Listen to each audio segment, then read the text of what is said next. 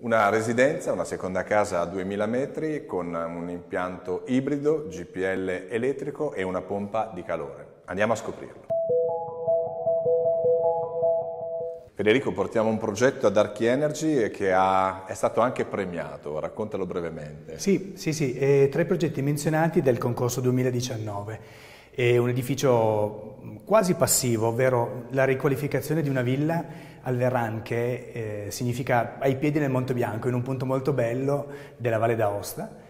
Ehm, altitudine? Altitudine sopra i 2000, adesso non ricordo di preciso, però mi ricordo che fa molto freddo, quindi l'impianto e la coibentazione dell'edificio sono stati un passaggio fondamentale. Infatti, Il zero termico si vede tanto. Sì, sì, si vede, si vede. di neve ce n'è tanta. Infatti lì la sfida è stata molto interessante perché, eh, cioè di mettere una pompa di calore ad aria in un posto così freddo e perché il committente, che era una persona mm, molto interessata alla parte progettuale, ha detto spendiamo un po' più di tempo e anche un po' più di soldi nel fare una diagnosi energetica, ovvero cercare il miglior impianto e il miglior involucro isolato che si fosse adatto all'edificio. E quindi sono state scartate tutta una serie di, di impianti per andare poi su una, un impianto ibrido in pompa di calore, aria e poi caldaia a GPL.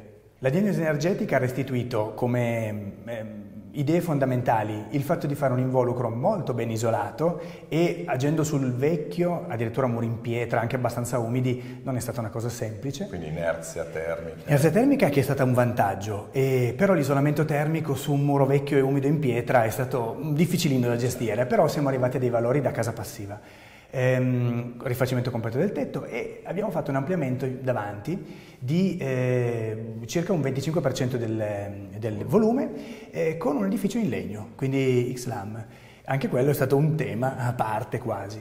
Eh, l'edificio poi nel suo complessivo ehm, viene riscaldato con radiatori a medio-bassa temperatura. Non ci potevamo permettere i pavimenti radianti perché lo spessore dei pavimenti era troppo basso, non c'era poi più l'altezza abitabile. Mm.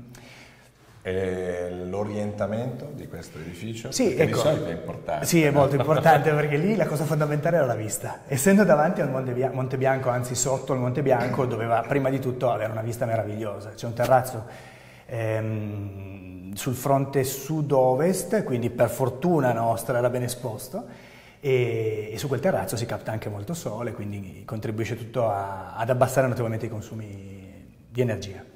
È previsto anche l'utilizzo di biomasse o no, no? In questo caso no, abbiamo optato per eh, un, un impianto molto facile da gestire, certo. quindi GPL e energia elettrica, aiutata dal pannello eh, fotovoltaico sul tetto, che tra l'altro anche lì non siamo stati né ad eccedere, prima di tutto perché volevamo vedere delle lose sul tetto e al massimo quattro pannelli certo. fotovoltaici, e poi perché in effetti essendo una casa d'uso saltuario, uno insomma l'accende un po' on demand, quindi gestita Ecco, questo è molto interessante. Una casa, una seconda casa, un saltuario, sì? ovviamente di solito si tende ad accendere un po' prima il riscaldamento, sì. cioè a gestirlo da remoto. Avete sì. previsto questo? Sì, assolutamente. Infatti quello era un tema fondamentale per questo edificio ed è per quello che eh, alla fine di questa operazione di diagnosi iniziale l'impianto eh, Vito Caldens 222 del, um, di Wiesmann si dimostrava essere quello più azzeccato per risolvere il, il problema perché era coordinata, sì, esatto, era tutto quanto coordinato, inclusa la gestione da remoto. Perfetto, grazie. Grazie a voi, grazie.